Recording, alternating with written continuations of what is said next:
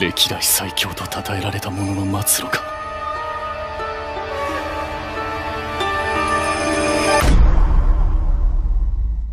次はうまくやる。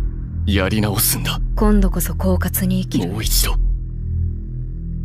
もう失敗しない。こ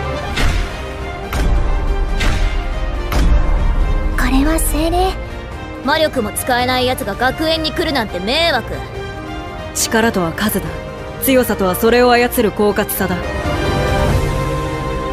個人の暴力なんて世界にとっては取るに足らないよ。